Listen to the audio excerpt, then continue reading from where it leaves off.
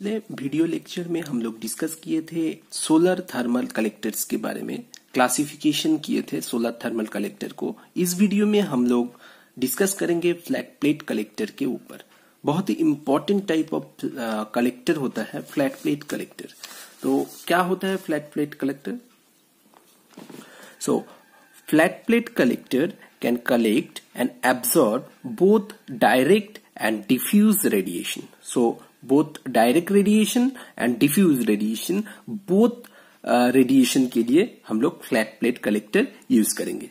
Okay flat plate solar collectors may be divided into two main classification based on the type of heat transfer fluid so जो heat transfer fluid है, उसके ऊपर depend करके हम लोग flat plate collector के को दो टाइप से डिवाइड कर सकते हैं।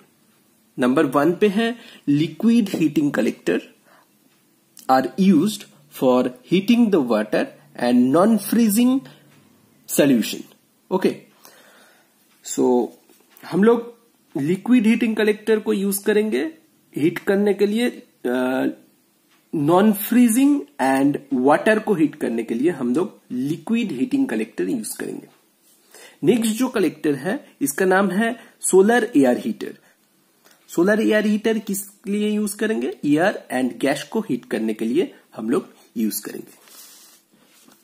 The majority of the flat plate collector have five main components तो majority of flat plate collector का पाँच तो मेन कंपोनेंट रहता है. फ़र्स्ट कंपोनेंट है a transparent cover next component component है ट्यूब्स, थर्ड कंपोनेंट है द एब्जॉर्बर प्लेट्स एंड उसके बाद है इंसुलेशन एंड लास्ट में है केसिंग एक लिक्विड हीटिंग कलेक्टर कुछ इस तरीके का होता है। A transparent cover which may be one or more sheet of glass or radiation transmitting plastic film or sheet okay so transparent cover ऊपर में लगाया जाता है। In general one or more transparent cover use किया जाता है यहाँ पे हम लोग ग्लास कवर यूज़ किया ओके okay? अब नेक्स्ट जो है tubes fins passages or channels are in integral with the collector absorber plate or or connected to it which carry the water air or other fluid from the inlet to the outlet मतलब ये जो tube हम लोग use किए इसके अंदर से जो भी फ्लूइड या एयर या लिक्विड को हीट करना है उसको हम फ्लो करवाएँगे इस ट्यूब के अंदर से। है insulation which should be provided at the backs and sides to minimise the heat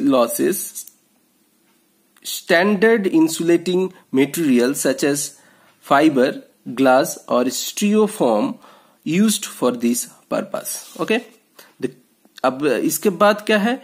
The casing or the container which enclose the other components and protect them from the weather okay so ultimate summarise कर देते हैं। बहुत ही easy है। Solar radiation diffuse and beam radiation दोनों को ही major दोनों को ही हम लोग यूटिलाइज कर सकते हैं फ्लैट प्लेट कलेक्टर के मदद से। So diffuse and beam radiation दोनों ही कलेक्ट होगा। उसके बाद ये जो ग्लास कवर रहता है ग्लास कवर के थ्रू यहाँ पे एब्जॉर्बर पे आता है। सो यहाँ पे ग्लास कवर क्यों यूज़ किया गया है? ये जो ग्लास कवर के मतलब जो सोलर रेडिएशन होता है वो ग्लास कवर से इंटर होके ये जो स्पेस है इसमें आता है। अब ग्लास कवर यूज़ नहीं करेंगे तो क्या होता कि के एयर इसमें इंटर करता? और एयर इंटर करने के मतलब क्या है कि ये जो आ, मतलब टेम्परेचर इसके अंदर जितना भी सोलर रेडिएशन रहेगा उसको लेके वापस चला जाता। तो इस टेम्परेचर को इसके अंदर मेंटेन करने के लिए हम लोग एक ग्लास कवर और ट्रांसपेरेंट कवर यूज़ करते हैं। ओके एब्जॉर्बर में एब्जॉर्बर एक मेटालिक होता है मेटालिक एब्जॉर्बर होता है। इसमें ब्लैक कोटिंग किया जाता है ताकि इसका एब्जॉर्ब करने का क्षमता ज़्यादा हो। तो एब्जॉर्ब और इसके साथ ट्यूब्स यहाँ पे लगा हुआ रहता है। तो एब्जॉर्बर अगर हीट होना स्टार्ट हो जाएगा तो एब्जॉर्बर क्या करेगा? ट्यूब्स को हीट करेगा और ट्यूब्स के अंदर से जो फ्लूड फ्लो होगा वो भी हीट होना स्टार्ट हो जाएगा। सो so, और यहाँ पे इंसुलेशन इंसुलेशन किया जाता है क्योंकि ये जो हीट ताकि हीट बाहर ना चले जाए और मतलब हीट लॉस को घटाने के लिए हम लोग इंसुलेशन करते हैं।